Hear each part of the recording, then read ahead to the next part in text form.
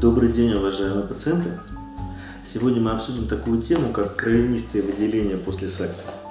Наиболее часто они, конечно, э, присущи женщинам, и у них э, достаточно много разных причин, но все они достаточно тревожны. А, ну, во-первых, кровянистые выделения после секса могут быть совершенно разной интенсивности, и даже если они небольшие, то это не причина к тому, что можно на них не обращать внимания. Э, как правило, это, еще раз повторяю, заболевание достаточно тяжелое и неприятное, если у вас такие выделения начались вне месячных. Итак, какие же это заболевания наиболее часто бывают? Ну, во-первых, достаточно частое заболевание – это эндометриоз. Эндометриоз – это невоспалительное заболевание, когда, по сути дела, э, такие очишки, как внутренняя поверхность матки, начинают мигрировать по организму и, соответственно, начинают а, внедряться в разные ткани по типу, а, допустим, влагалища, по типу шейки матки и так далее. И они начинают жить своей жизнью и кровоточить. Также достаточно неприятным заболеванием является онкология женская.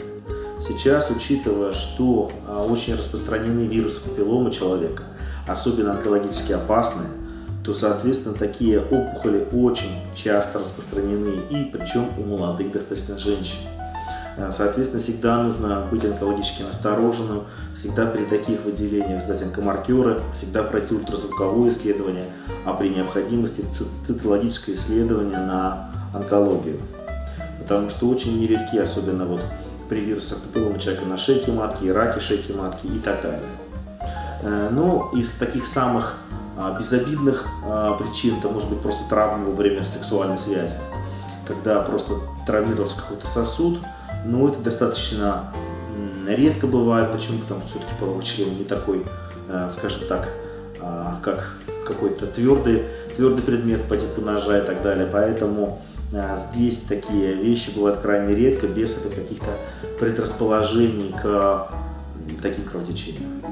Ну, соответственно, также бывают различные гормональные нарушения, которые способствуют тому, что вот месячные постоянно и длительно текут, э, в том числе секс провоцирует их выделение, э, и, соответственно, это вот приводит к тому, что появляются такие выдел... Э, кровянистые выделения. Поэтому всегда нужно при них сдать анализы на половые гормоны в нужной части цикла. А наличие различных полипов, как матки, так и шейки матки, приводит к тому, что они кровоточат и, соответственно, появляются кровянистые выделения. А, ну и многие другие заболевания на самом деле также могут послужить причиной, в том числе а, половые инфекции способствуют истончению и воспалению а, тканей влагалища и проникновению через них каких-то кровяных телец по типу эритроцитов, в результате чего появляется кровянистое выделение. Поэтому, если у вас появились такие выделения, это на самом деле достаточно тревожный симптом. Даже если они появились в небольшом объеме. Поэтому э, при появлении таких выделений необходимо обратиться срочно к гинекологу, необходимо обратиться срочно в ряде случаев к урологу. Э, если э, такая проблема у вас случилась в Москве, обращайтесь в наш медицинский центр платный КВД.